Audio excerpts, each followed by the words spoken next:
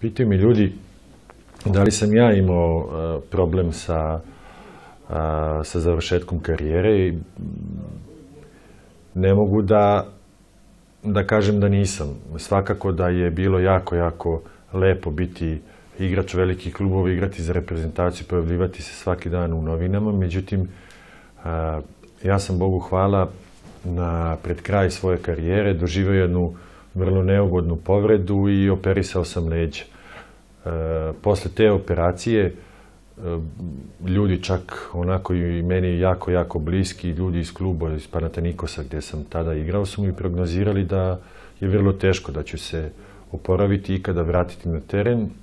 Čak i ako uspem, da će za to biti potrebno nekih 7-8 meseci. Na predlog svog prijatelja upoznao sam Dragana Selakovića, jednog divnog čoveka iz Bajne bašte, fizioterapeuta, koji je radio sa mnogim poznatim sportistima i puno im pomogao. Upoznajući njega, upoznao sam puno divnih ljudi, upoznao sam našu istoriju, tradiciju i pre svega našu veru. Iako mogu da kažem da sam i do tada išao u crkvu, ali to nekako čini mi se da nije bilo iz dubine duše. Preko njega i upoznajući mnogo divnih ljudi, shvatio sam u stvari koliko je lepo biti pravoslavac i mislim da mi je e, to upoznavanje suštine života i naše crkve puno, puno pomoglo da, da lakše prebrodim i tu krizu koju svako od nas ima ovaj, kada završava sa profesionalnom karijerom.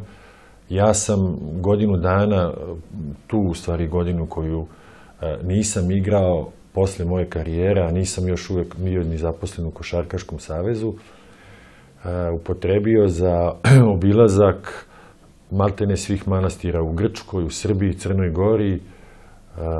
Bio sam nekoliko puta na, na Svetoj Gori otišao sam nekoliko puta čak i do Jerusalima, Svete zemlje i mislim da mi je to puno, puno pomoglo eto, i, i u prevazilaženju te postsportske ovaj, krize koju veliki broj sportista ima. Super čast.